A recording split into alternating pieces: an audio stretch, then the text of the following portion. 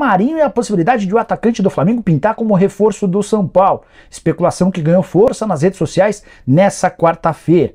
Que o Marinho está de saída do Flamengo, isso é líquido e certo. Só o Marinho que reluta com a ideia. O Vitor Pereira não conta com ele, os dirigentes também estão loucos para negociar e o Marinho quase foi parar no Bahia.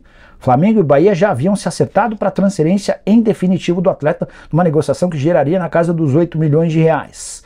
O negócio só não foi fechado porque o Marinho disse não aceitar a proposta financeira do Bahia. Inclusive, o Bahia está desistindo oficialmente da contratação do jogador por entender que o Marinho não tem interesse em jogar em Salvador.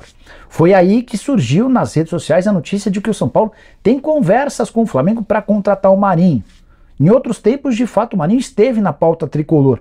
São Paulo chegou a conversar com o atacante quando ele estava deixando o Santos para se mudar para o Flamengo. Mas, nesse momento, não há qualquer movimento por parte do São Paulo para fechar com o jogador.